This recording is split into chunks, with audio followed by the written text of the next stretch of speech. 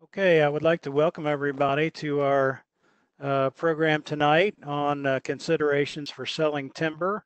My name is John Woodmansey. I'm the extension educator in Whitley County in Indiana. And um, tonight we have uh, Lenny Farlee, who is our Purdue Extension Forester. Uh, just a few introductory remarks here. Um, We've got everybody on mute to start out, and so I would encourage everybody to use the uh, chat icon toward the bottom of your screen, and that uh, you would, uh, if you have any questions, just go ahead and, and uh, uh, send that question to all participants. It doesn't have to be privately to a host or anything like that.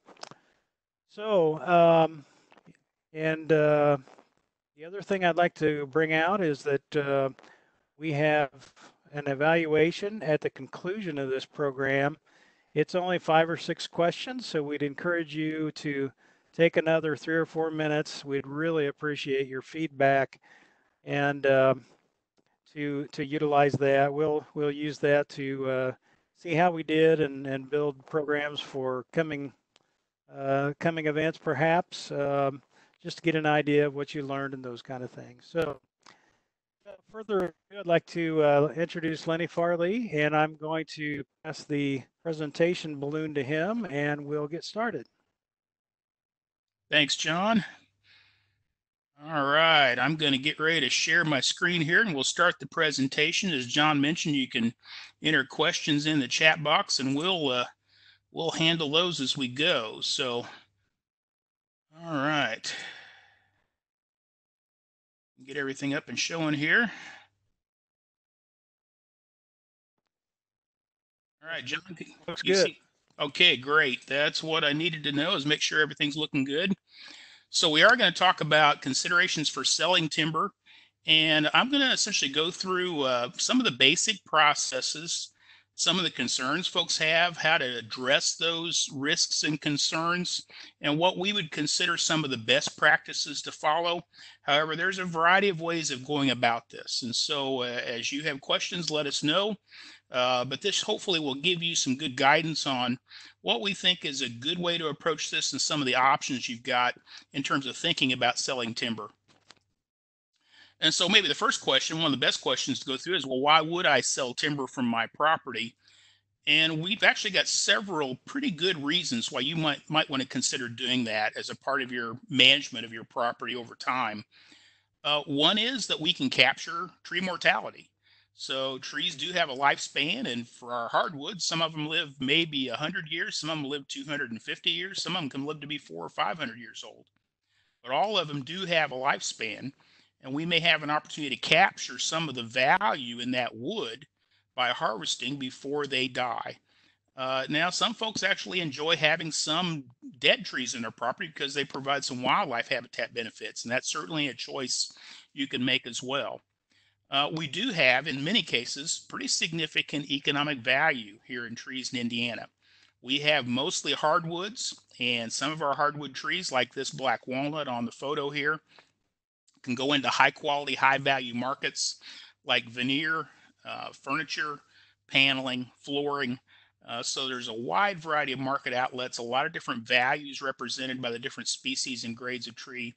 But we've got good market outlets for a wide variety of species and grades of trees that can come out of our property.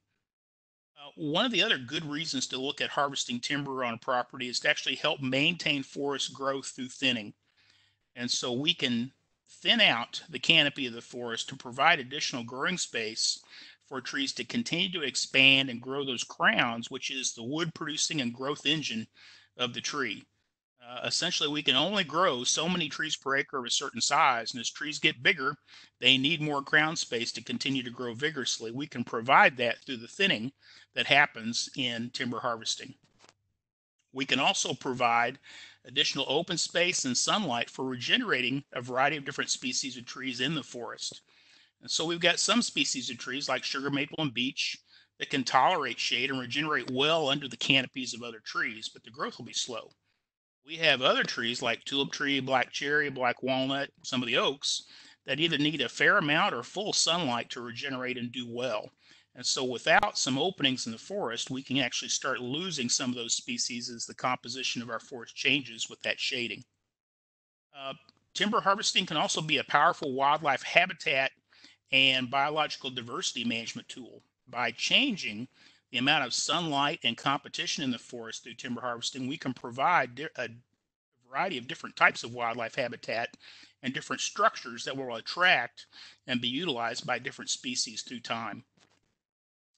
Also, uh, wood products are one of our most environmentally friendly products that we can uh, be utilizing in society for a variety of the different things we do, whether it be home building, furniture, paper, uh, whatever it is. It is a highly sustainable and environmentally friendly product that you can feel good about having utilized. And the wood products industry is an important and large industry here in the state that employs a lot of people uh, to utilize those sustainable products through time so we can feed into that system and maintain it as a healthy part of our economy here in the state as well. And so we mentioned that issue of maintaining good forest growth and keeping a healthy forest through timber harvesting. And I think this picture depicts that to some extent. Uh, what happens is, this is actually a plantation that I was privileged to plan many years ago and had a chance to visit it this last summer. Uh, those trees are now 16 inches in diameter. I remember seeing them as seedlings. And what's happened is there's a lot of competition going on here. Normally, if these trees had plenty of room to spread out their crowns, we'd have a nice circular crown occupying that space. But because we've got two large trees right next to each other, they've essentially flattened out their crowns and are competing really seriously with each other. And so each of those trees has about a half the crown that it might ordinarily have we can actually provide additional growing space to one of those trees by harvesting the other. And so this is a good example of where we can do that and provide an opportunity to maintain good vigor and growth on the trees that we retain in the forest and also recover the wood value in the trees that are harvested. We can also create different structures and types of wildlife habitat in different environments to regenerate trees with different levels of light requirement. And so this is a, uh, a private forest landowner's property in southern Indiana where they put in a relatively large uh, forest harvest opening. Uh, I think this was three or four acres in size. And not everybody would choose to do that one that large, but this actually provides a really significant and very useful different habitat type and an opportunity to regenerate a wide diversity of different tree species. And as you can see, this is filling back in very quickly with a lot of different tree and shrub species uh, that are going to create a new forest through time. We can do that on smaller scales as well. Openings of a half acre to an acre and a half or two acres uh, produce a little bit less of a visual impact on the forest, but still provide that full light opportunity to regenerate light loving trees and a very different type of habitat for a wide variety of wildlife species. And with time, uh, obviously, as those trees grow, we get different structures uh, and types of habitat provided. And so this is a uh, the same type of opening we might see uh, 15 or 20 years after that harvest period, where we've now got a forest canopy that's starting to shade out the understory. It's going to be a lot easier to walk through and suitable for a different set of wildlife species altogether.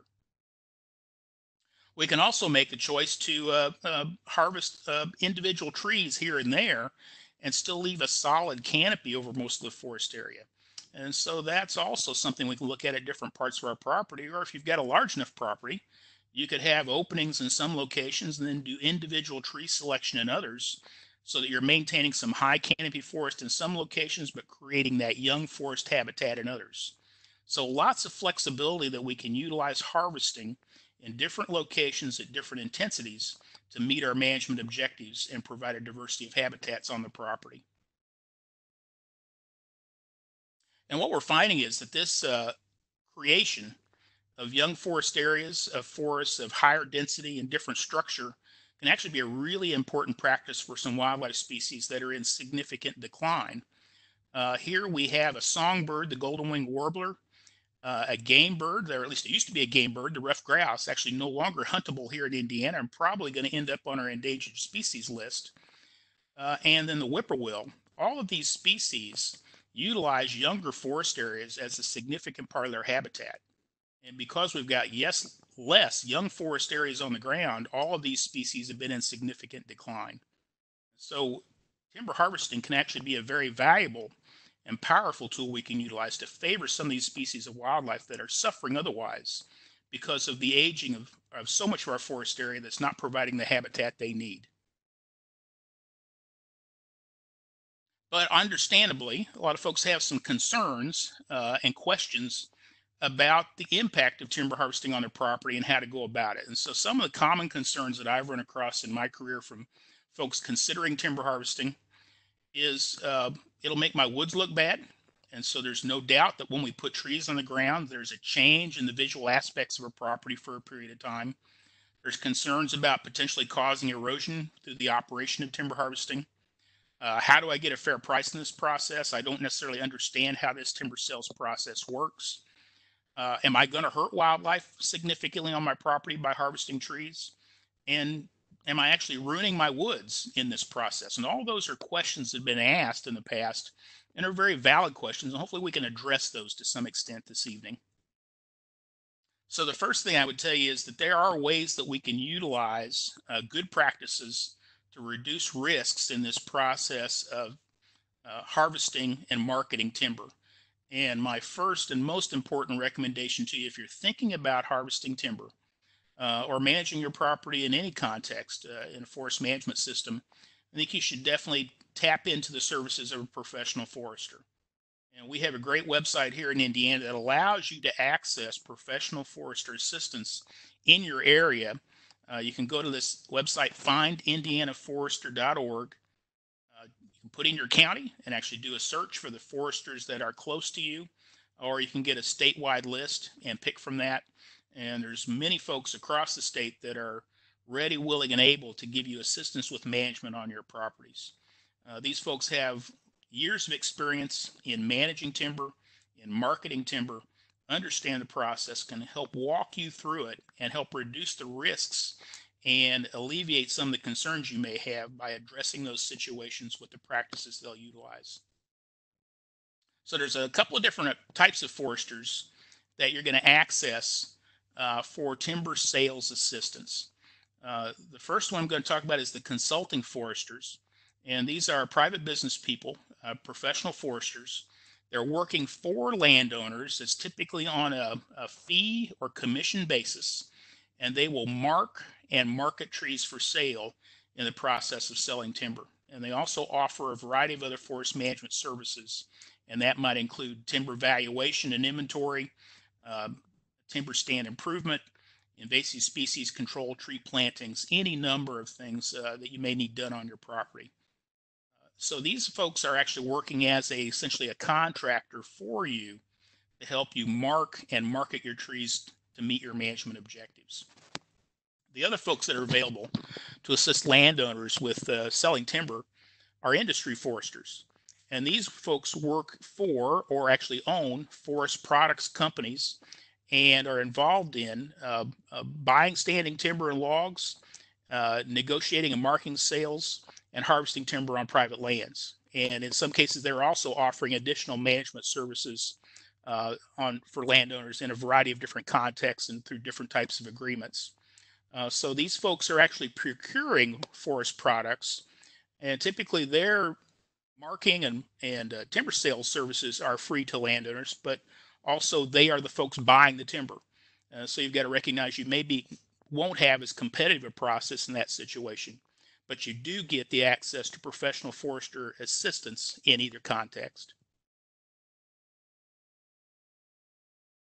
So some of the services you would expect your forester to provide for you in the process of marking and marketing these trees. Uh, the first one, I think, in fact, if you're going to be a long-term landowner, is maybe the most important, and that's selecting the appropriate trees to sell based on the condition of your property and your management objectives.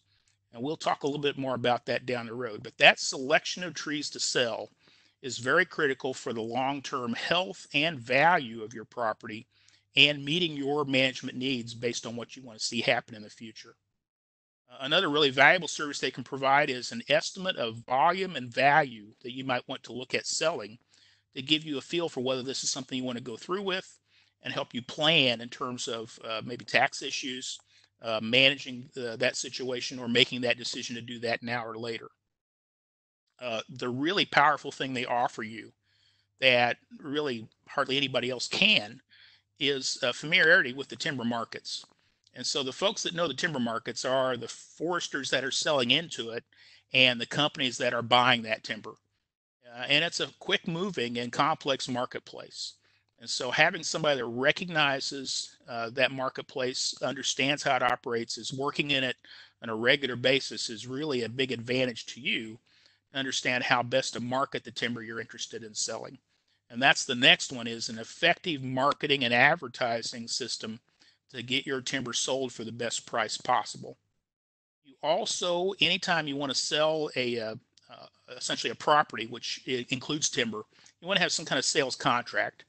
And the professional foresters have contracts that are set up to help protect your rights, also protect the rights of the buyer, set up expectations for, for performance and payment, uh, liability, all those issues that are taken care of in a timber sales contract.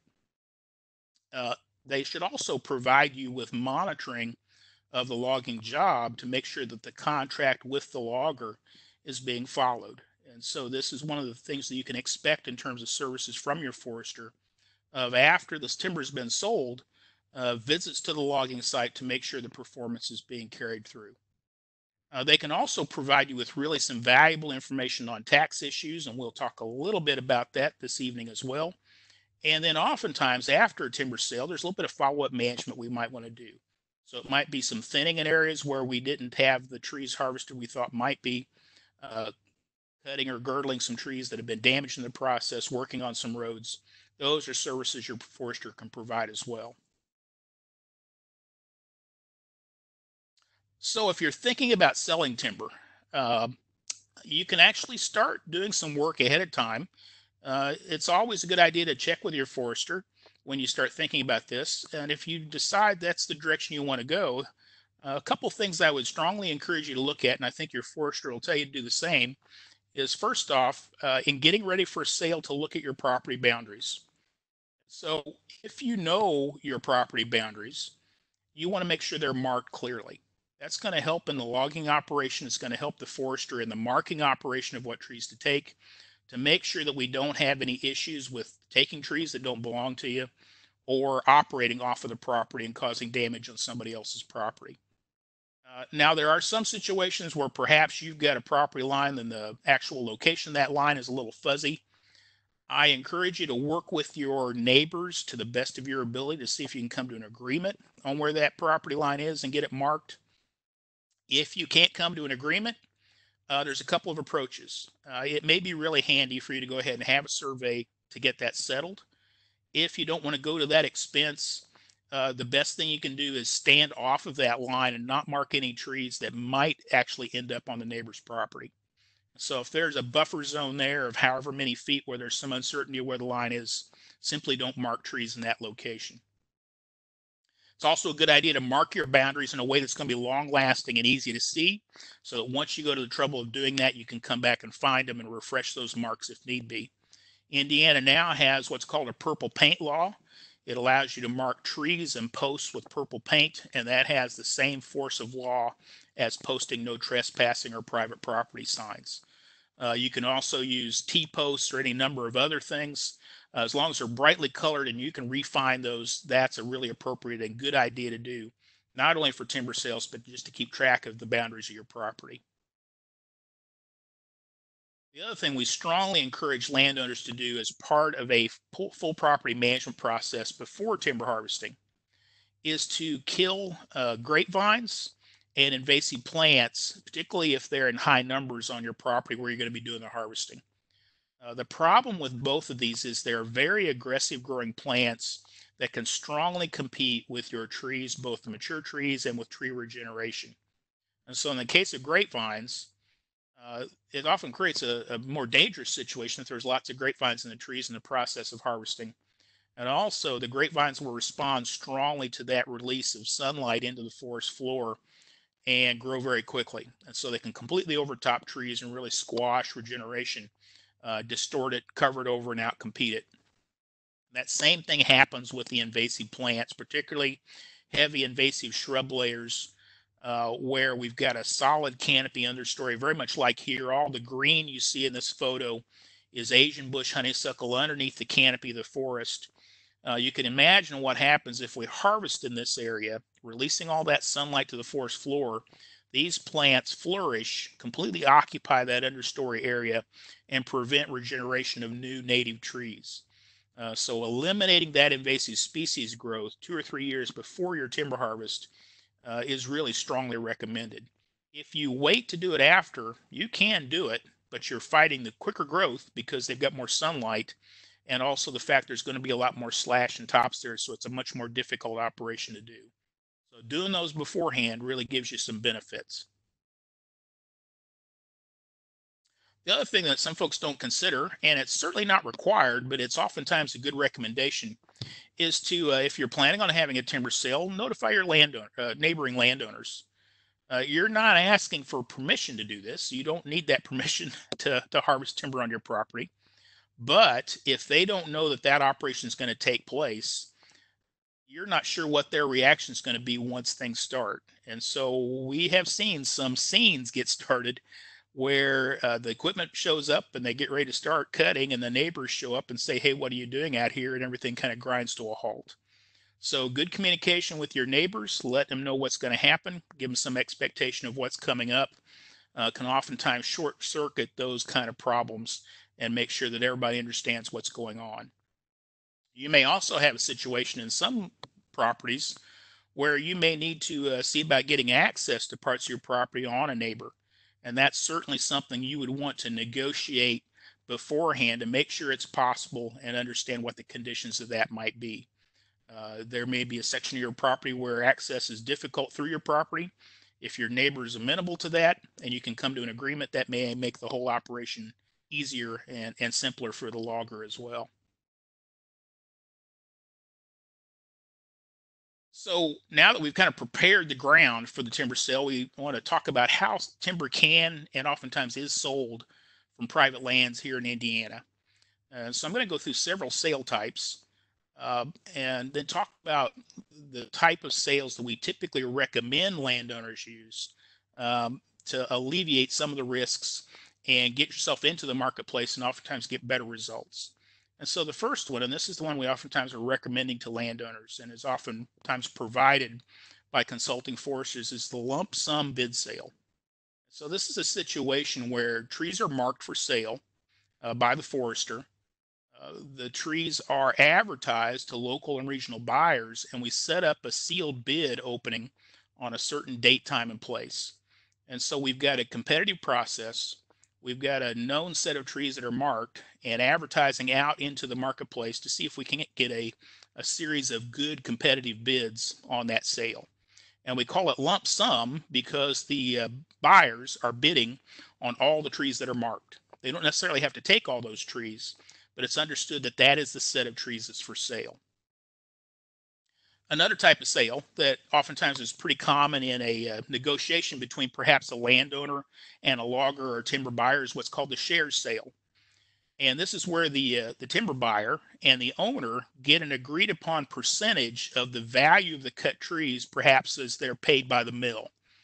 And so these oftentimes are like a 60 40, 50 50, or 40 60 split uh, that the buyer and the owner split based on that agreement of whatever the mill is paying for the logs that are delivered as they're cut. And of course, one of the situations you're looking at as well is that is that fair? Uh, it's it's hard to say. It depends on the value of the trees themselves and how difficult the logging is. They certainly have costs associated with logging, but there's also oftentimes significant value in some of the trees. The other thing is, uh, am I getting all of the uh, mill receipts reported to me? And so you need to have some level of trust and confidence that all those things are being reported back to you. We can also see what's called a pay as cut situation. So the buyer pays based on an agreed upon amount for each unit of wood harvested. For so for every board foot or number of logs or whatever it is, there's a certain amount paid to the landowner for that volume and it might vary based on the species and value as well. Uh, once again, that's an issue of tracking And am I getting a, a decent amount for the timber? Well, if you don't have a competitive process, it may be hard to tell. Something that's less common, but still can happen, is you can simply contract with a logger to actually just do the logging services. So they're cutting, skidding out of the woods, loading up and hauling to the mill logs, and you're paying them for their services, and then you're getting whatever receipts you get from selling logs at the mill. Uh, obviously, this would be complicated for most landowners. It's not very commonly done, although oftentimes if there's a exchange between folks in the industry, uh, this is not uncommon at all. So in many cases, we're typically recommending landowners look at the lump sum bid sale for the competitive situation it sets up and the fact that it simplifies the operation uh, and takes some of the risk factors out of it. So the other thing we want to look at is how are trees selected for sale? And there's several different approaches there too. The one that we typically recommend for landowners is individually marked trees. And so the trees are marked with paint by the forester that's working with you to select those trees for sale. And those trees are selected based on their condition, current marketplaces, and your objectives for the property. Uh, and so that's an individual tree by tree decision that's made between you and the forester based on your discussions of what you want to accomplish on the marketplace and what the forester understands about the biology of the forest the marketplace and the logistics of logging in that area. Uh, so there's a strong decision-making process going on there. You'll notice that the tree is marked on the log and then also at the base. And that base essentially is your receipt showing that that tree was marked for sale after it's cut down.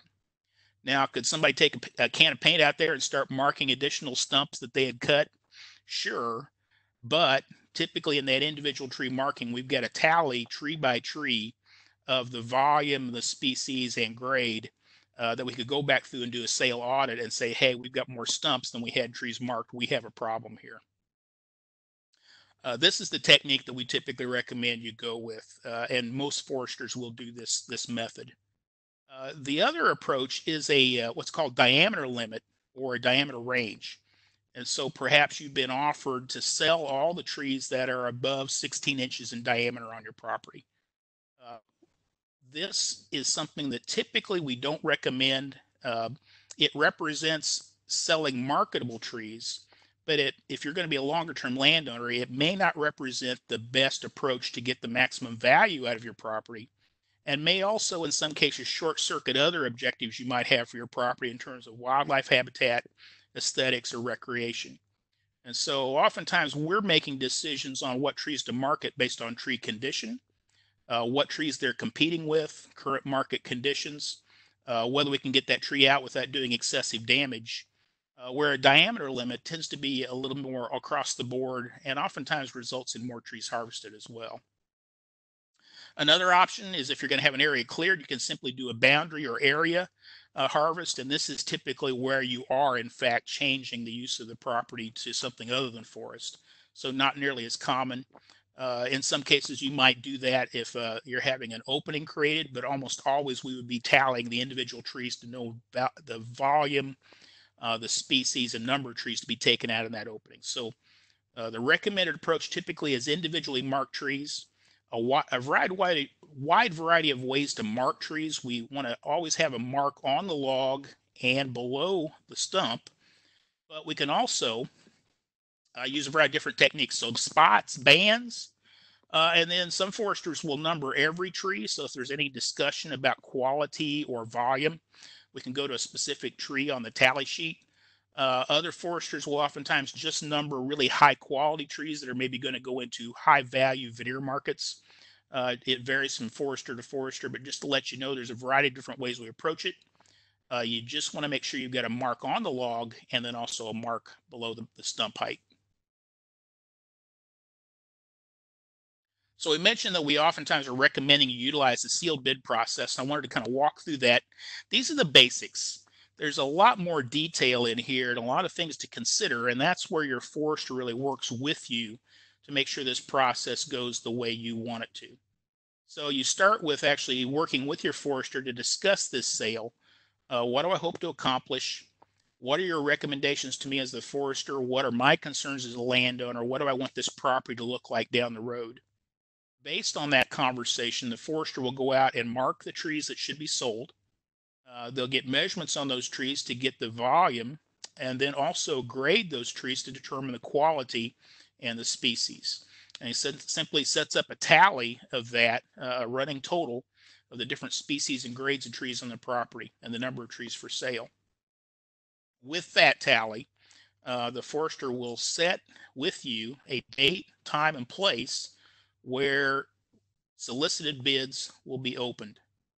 Uh, the forester then sends out invitations to local and regional buyers and can even advertise in some circulars and websites for additional uh, exposure uh, to invite buyers to visit the sale area, to view the timber, and to submit bids.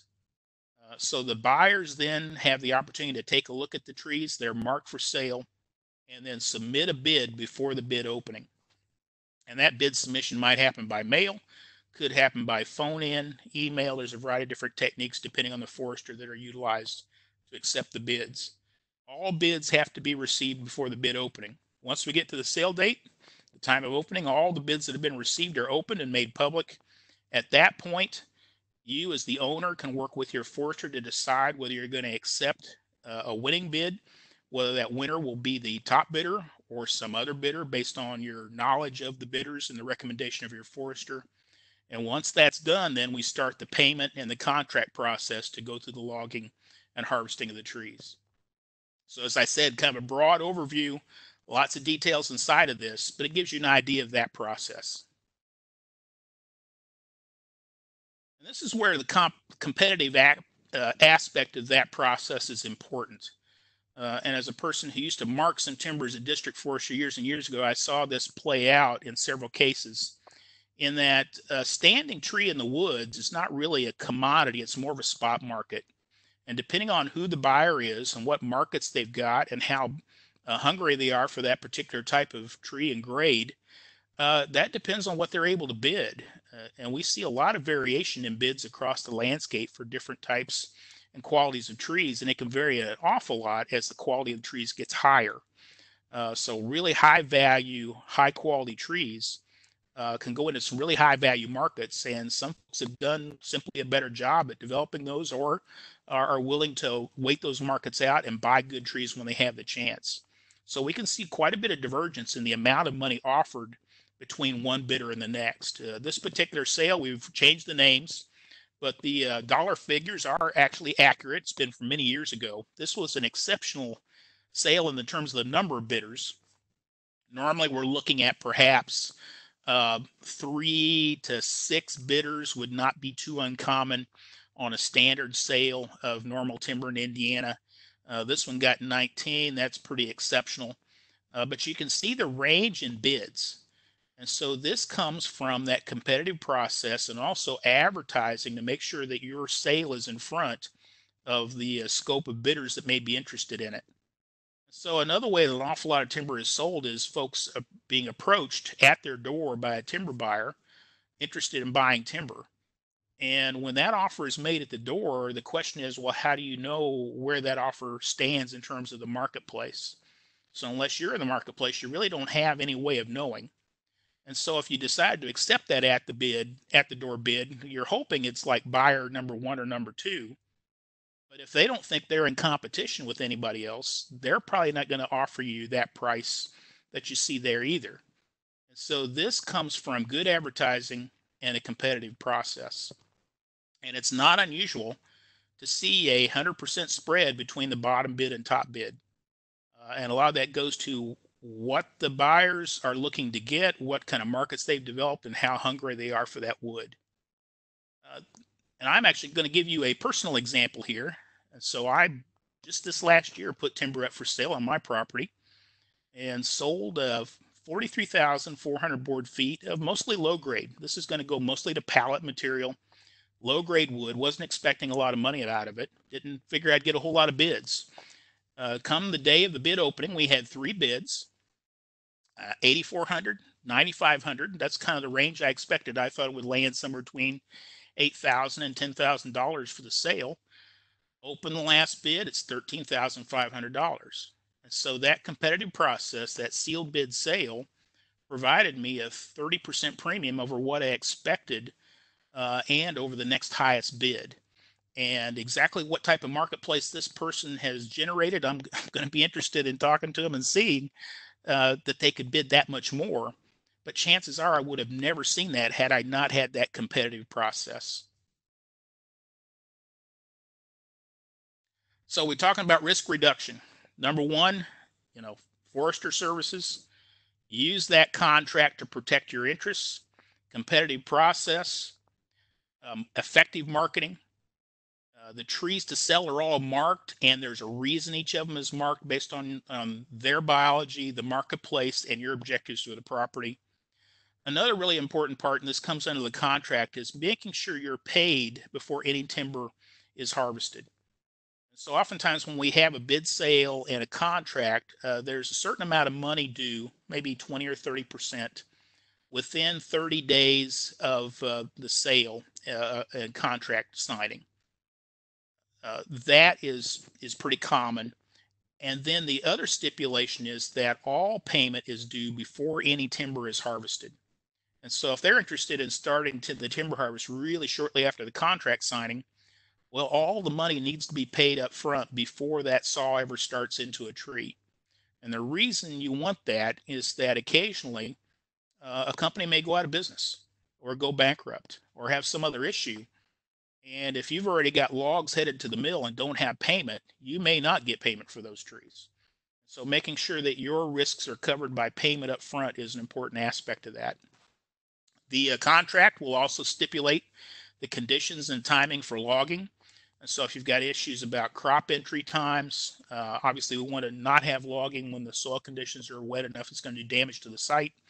All those things are going to be lined out uh, and your forester will work with you to make sure that those are all understood and set expectations between the logger and yourself for that operation.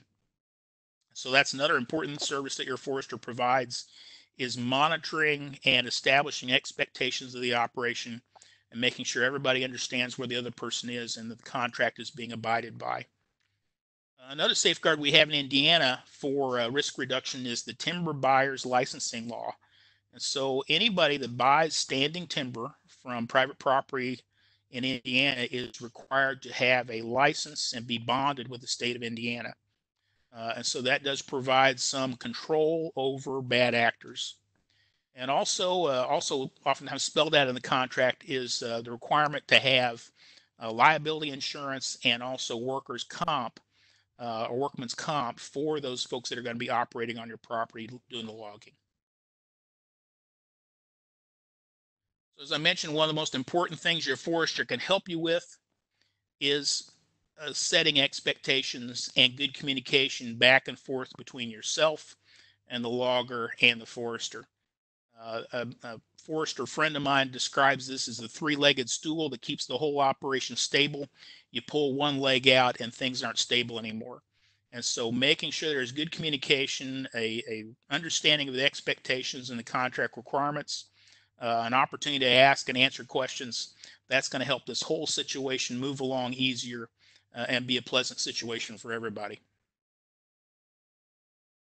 So one of the issues that folks are oftentimes concerned with, and, and rightly so, is uh, am I going to have excessive erosion as a result of this harvest?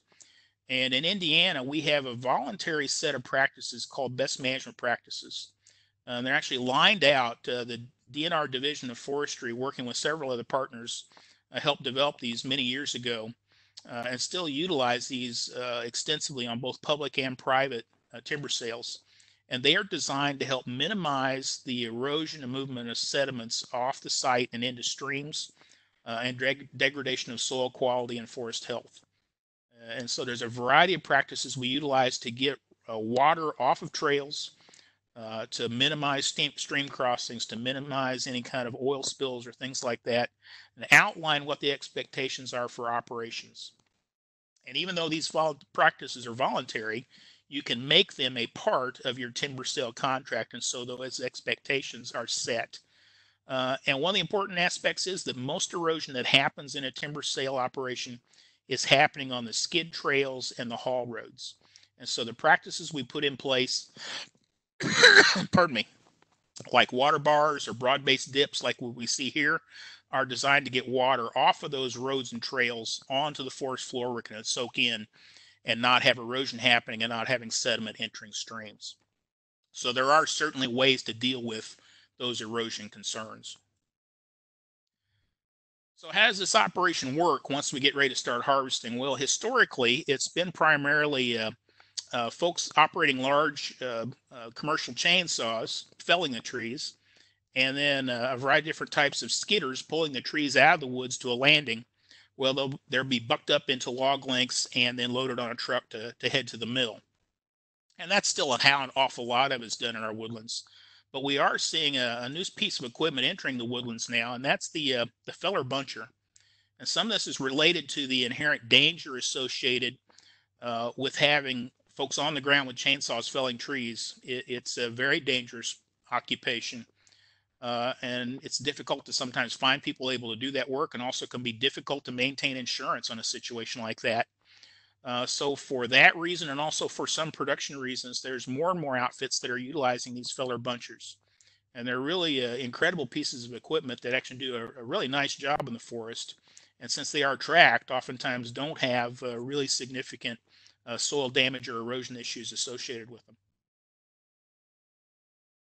So as we mentioned, logging is a, a dangerous and very difficult area of work. It requires a, a lot of specialized and expensive equipment and it takes significant skill and effort to do a good job. Uh, and the good news here in Indiana is that we have uh, uh, loggers who are well trained, have the logger training programs available to them, and also uh, a gradually improving quality and type of equipment available to them.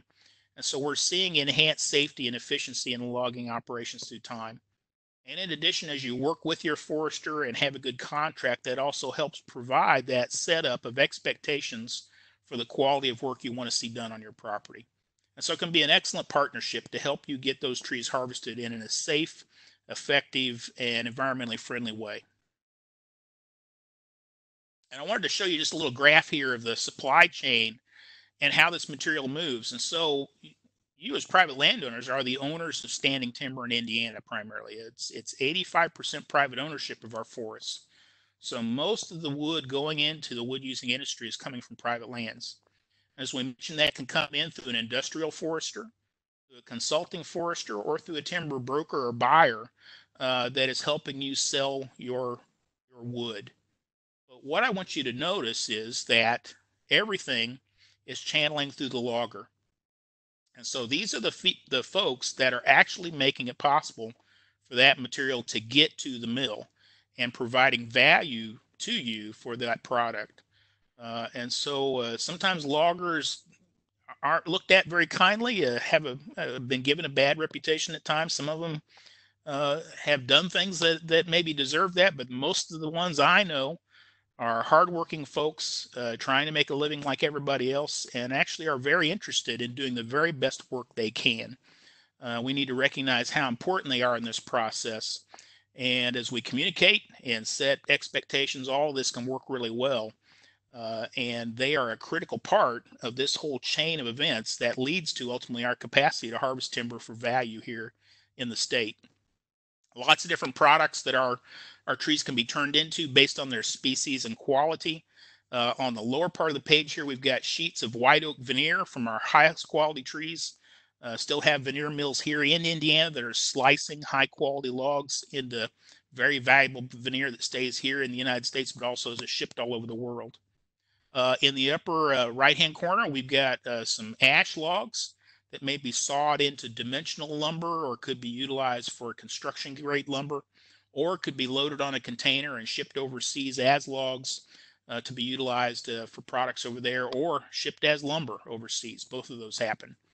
Uh, also, to a lesser extent, we see some fuel wood processing, and we don't have any pulp mills here in the state, but we do have uh, one in Kentucky. And so the southern third or quarter of the state will sometimes feed into those mills as well. So lots of different product potential here, uh, depending on the quality, grade, and species of trees we're looking at. And so as you think about this process of harvesting trees, we mentioned how important tree selection is. I want to talk about that just briefly. One of the things I encourage landowners to do is think about working continually for improvement of your property uh, when you utilize harvesting. And so what that means is that we are going to take where we have the opportunity to low quality, low value, damaged or diseased trees, get those into the marketplace, uh, take them out of the woods before they die to provide additional growing space for trees that are going to do a better job of meeting your management objectives. And your forester will obviously be able to help you with that decision making process. These trees don't oftentimes have huge value, but they typically have enough value that they can get into the marketplace. And the big advantage for harvesting them is you've made additional growing space for something that may be much more valuable for wildlife, for timber production, for recreation, for aesthetics, whatever your management objectives are. So taking some low grade, low quality trees, something we should always be thinking about doing in the process of harvesting. We're also going to look at harvesting some mature trees. Uh, in this case, this is actually my property. It's some big old mature sycamore and hackberry. Neither of these trees are highly valuable. They're oftentimes used for pallet and construction grade material, but they're big, they're mature, uh, probably going to go downhill rather than increase in grade and value through time. And so it's time to move them on, provide additional growing space for some other younger trees to come on. One of the things that may be a temptation and is sometimes offered to you in the process of door to door uh, solicitation to sell timber is a practice we call high grading. And this is where you're offered to sell uh, just a few of the very highest quality trees on your property. And so you may get what looks like a pretty good big paycheck for selling very few trees. There's a couple of problems with that though. Uh, if you're only selling your high quality trees, what you're leaving behind to grow on your property and reproduce are the lower grade, lower value, lower quality trees. And so, in that process of only selling your best trees, you're gradually degrading the overall quality of the trees in your property over time. You also need to recognize that those high quality trees, if they're allowed to grow bigger, oftentimes are making much more in terms of value growth per year than the low quality trees. And so if I needed cash and I had a CD that was making 2% and a CD that was making 5%, uh, I'd like to keep the CD making 5% growing and I'd cash out the one with 2. Well, taking your very highest quality trees, perhaps when they're younger trees, kind of short circuits that process. And so this is a really high quality black walnut tree. It's about 17 inches in diameter, so it'd be big enough to harvest it's got a long life ahead of it and a huge potential to gain much more volume and value and perhaps grow it to a 22 to 24 inch tree or better based on the site. And we've added a lot of volume. We've added an enormous number amount of value in many cases. Uh, and so rather than harvesting that tree young like this let it have an opportunity to grow take some lower quality trees uh, deferred gratification not, uh, oftentimes is a really good idea over the long term. And so, what I encourage you to do is resist that temptation to high grade, uh, taking only the best and leaving the rest. Look at continuous improvement and growing your highest quality trees for as long as you can to produce that high value. We also have some tax considerations associated with selling trees. Uh, and so when we sell trees, there's a variety of different situations we can get in in terms of, of taxation issues. And this is not tax advice. It's a complicated area, but some guidance to help you think about these issues and something your forester can certainly give you some assistance with. So when we sell trees, they may possibly be taxed at a capital gain rate if we meet certain conditions. So in most cases, when you're doing a lump sum sealed bid sale of standing timber, uh, that is typically eligible for capital gains treatment and the capital gains rate on taxes, which is normally lower than regular uh, income tax, personal income tax rates. If we are selling logs, oftentimes you're not eligible for capital gains because you're selling a manufactured product. Uh, so the standing trees are looked at as a capital asset that has grown through time and you get that capital gains rate. If you essentially do a manufacturing process, cut the trees down and sell them as logs, you may not be eligible for that capital gain treatment. So it's important to talk with your forester about those tax issues in terms of what context you're going to sell those trees into. To get long-term capital gain rates, you need to have owned those trees for over a year.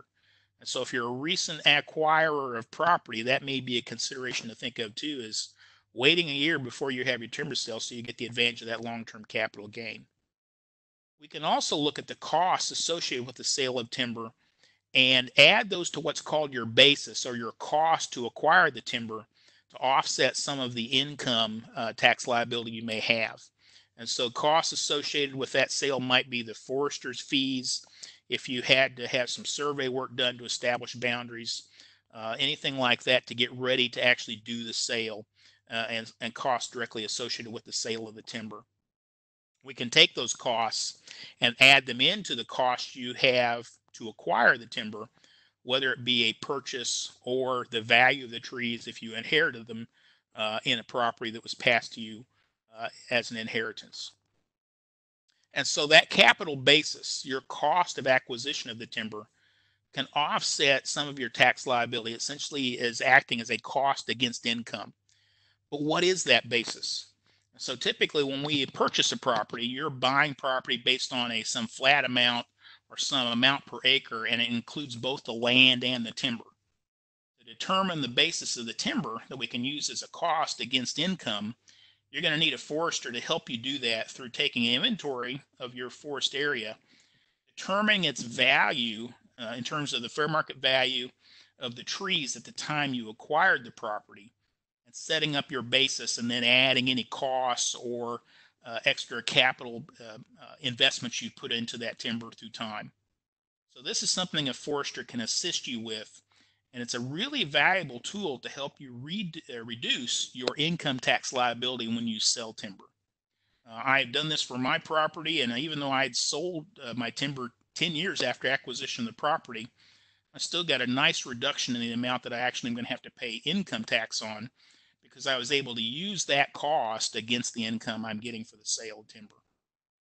If you want to look deeper into this issue, this website, uh, www.timbertax.org provides a lot of great information uh, on the tax treatment of timber income, and your forester can give you a lot of direction in this area. Uh, but it's a very important area to look at in terms of saving uh, uh, money uh, in terms of tax liability, and it's one that a lot of people don't take advantage of. And the real advantage of this comes from using it uh, shortly after you acquire property. And so if you've purchased property that has timberland on it, you get your basis, uh, you have a timber sale maybe two years after the acquisition. An awful lot of the income off of that sale can be offset by the fact that you've got essentially a cost, the cost of acquisition of that timber that can be applied against that income. As more time passes and the timber grows in volume and size and value, uh, your actual basis that you can um, apply against income decreases. Because your ownership period, the growth of the timber in terms of volume and value over that time is actually a capital gain. Uh, it's the gain that happened during the time of your tenure. And so you can't you can't treat that as a basis. Your basis is your cost of acquisition. But as I mentioned, it can still be significant even after 10 or 15 years, and in some cases more a really neat trick if you're thinking about how could I pass uh, some significant value to heirs. If you own good quality timberland, high quality trees uh, that perhaps are ready to market or could be marketed in the future, if you pass those to heirs as an inheritance, the heirs are able to do what we call a step up in basis and so their basis is the fair market value of those trees at the time of transfer. So you may have owned that timberland for 40 years and had all of this capital gain increase in value on the timber over that period of time. Uh, and your basis may have been quite small on that property at that point in time because of all the time that's passed. But once you pass it to heirs as an inheritance, they get a step up in that basis value to the fair market value at the time of, of that transfer. So if they have a timber sale maybe a year or two after they've acquired it, they're going to have very little income tax liability uh, using that basis against income that they get from the sale. So it's a great way to pass an asset with minimal tax liability on to heirs in the future. Uh, something else I think a lot of people don't realize and haven't thought about, but a great tool you can utilize. Uh, the other thing you can access is actual assistance from the U.S. Department of Agriculture uh, for management on your property. And so some of the things we have recommended to do, look at uh, controlling grapevines, controlling invasive species, uh, perhaps doing some wildlife management habitat work, planting trees possibly after your timber sale to fill in some openings with desirable species. All those things may be things you can actually get cost sharing or cost assistance from through the U.S. Department of Agriculture Natural Resource Conservation Service. And they have a variety of conservation activities and programs that you can tap into that may actually help offset some of your costs of doing these management practices. So you want to contact your local USDA Natural Resource Conservation Service office to see what those programs uh, are that may fit into your property and how you can tap into those.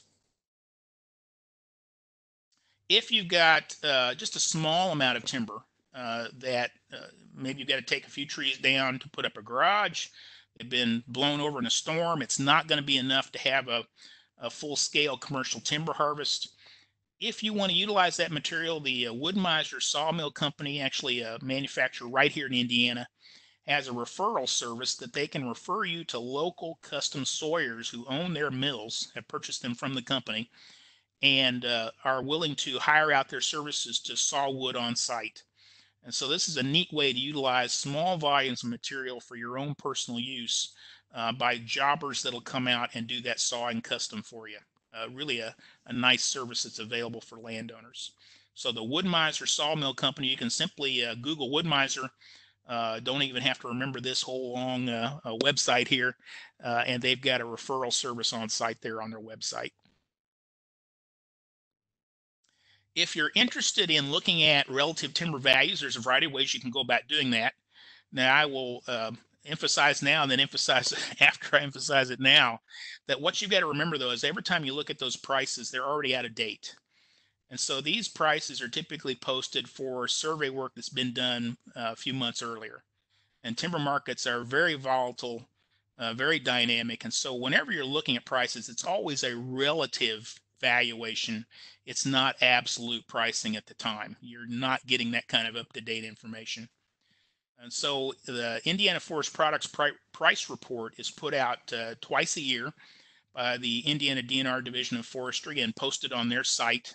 Uh, so you can access that there. Uh, in addition, Purdue used to put this up and still maintains historic price reports clear back some of the earliest ones are in the 1930s. And so if you're interested or need to utilize uh, historic timber price reports for perhaps setting up a basis from a purchase of a property 10 years ago, you can get access to those. Uh, you can get lumber pricing reports uh, on a subscription basis from a variety of different uh, hardwood uh, market reporting firms. However, it is a paid subscription to get those. And those provide typically weekly reports and are pricing lumber essentially to the penny. But you've got to remember when you're selling standing trees in the woods, there's a lot of manufacturing processes and expenses that goes into making that lumber. And so it can be difficult to translate that back to the actual value of standing trees but it gives some feel for relative species valuations. And then also annually in the uh, Indiana Woodland Steward newsletter, uh, there's a stumpage price report on private land sales provided by uh, the consulting foresters. And so they pool the prices that they've gotten for timber uh, and categorize it into low, mid, and high value timber sales and provide this general summary of what the timber market looks like for what we call stumpage sales that's where uh, uh, timber buyers are buying standing timber from private landowners. But once again, remember all of this information is dated and therefore is really only valuable for comparisons, but not for actual valuation at the time. So several different resources and references you can tap into. Uh, a lot of this information is available from the call before you cut site here. And so this is a, um, a multi-state effort to provide timber uh, sales information and considerations for landowners. And so lots of good references there. Uh, once again, you can locate a professional forester through this Find Indiana Forester site. Uh, the timber tax issues through Indiana's, um, or pardon me, the, the National Timber Tax website, timbertax.org. Indiana maintains the licensed timber buyers program and also maintains a list of licensed timber buyers that you can access through this website.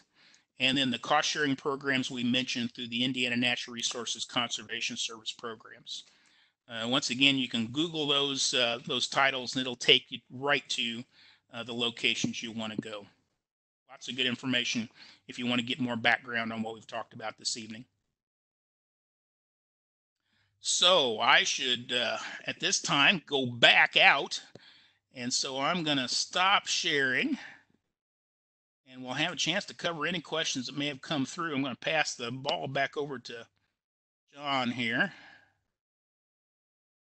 Thank you, Lenny. A lot of great information there. And, um, you know, perhaps you're somebody who uh, are considering um, a timber sale um, maybe you're one who may have some timberland coming to you in the future. Um, I thought uh, I've always thought it was particularly helpful about that. You know, if you inherit land to do that step up in basis so that you have a, uh, a value at time of acquisition that you can um, then reduce your tax liability later on. I thought that was that was really good. If any of you have any questions, there is a little chat window toward the bottom of your screen. If you want to hover over that and click on it, it should bring up the chat pod.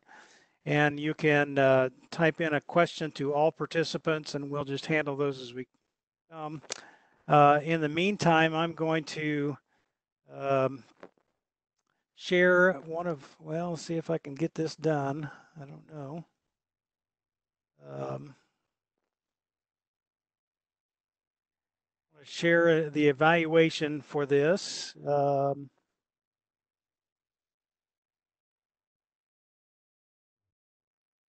oh shoot, that's not what I want. Bear with me here just a moment. Okay.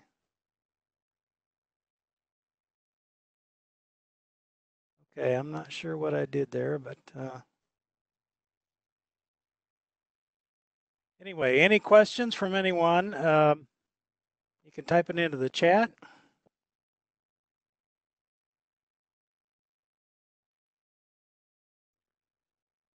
Gosh, Lenny, I guess I'm not seeing anyone or any. Um, Either I did a really good job or a really bad one. oh, goodness. And I'm not having any luck sharing my screen, I'm afraid, for some reason. So, John, I've got uh, one of our attendees raised his hand. Okay. It's, and it's gone now. I've lost it. So maybe maybe right. that maybe that was a mistake. I don't know. okay.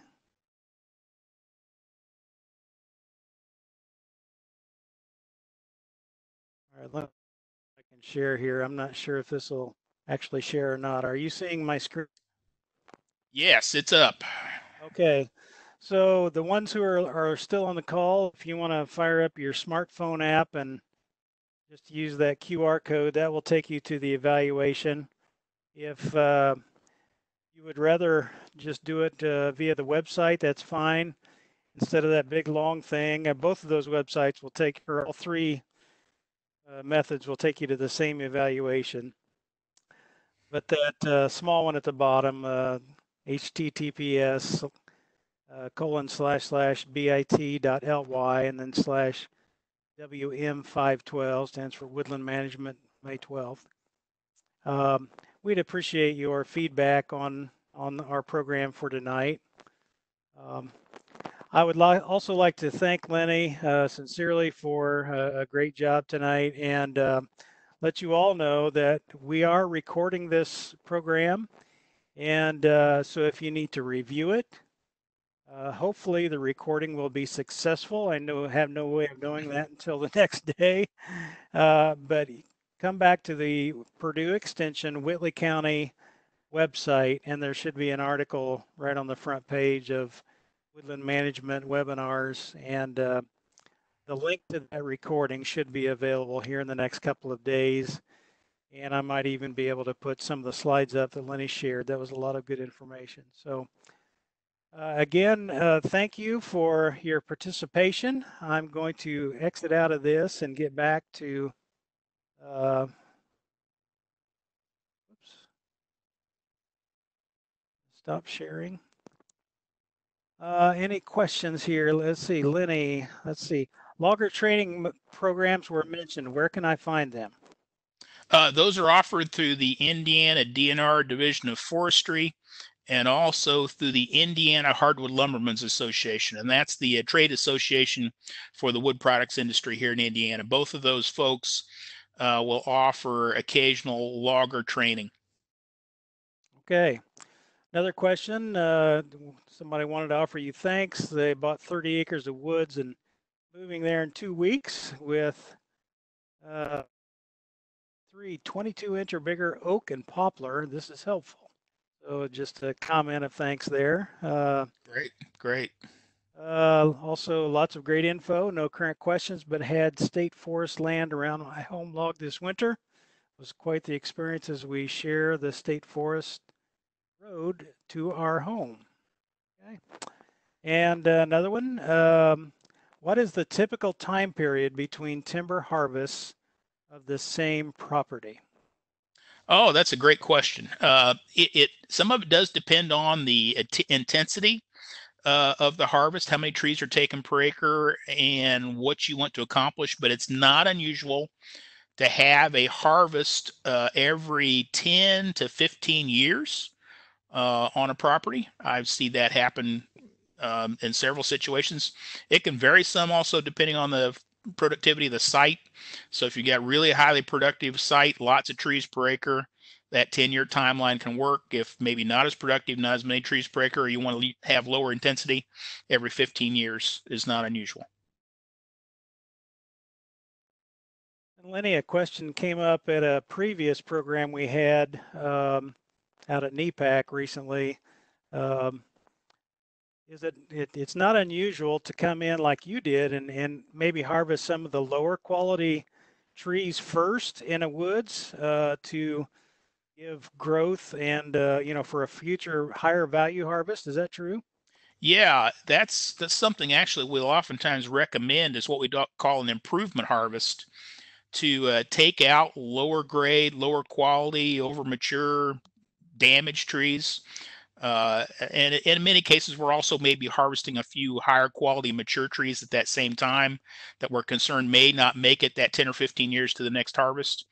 But if you look at the returns on different trees in terms of growth in wood volume and value, uh, you really want to let those high quality trees get to be bigger size and really kind of uh, max out their productive life before you harvest them because their value increases so much bigger than the low quality, low value trees.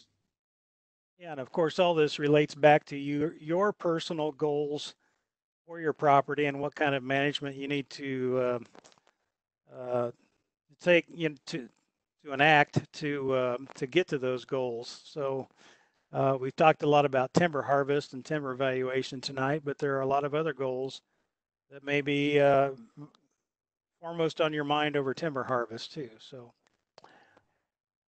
All right. Well, I think that takes care of our questions. So, Lenny, I want to thank you again for your program tonight and thank all the participants. Again, if you could please uh, fill out the evaluation, it shouldn't take you but three or four minutes. We'd really appreciate that. And uh, thank you for your participation tonight. Thank you, John. It was a pleasure.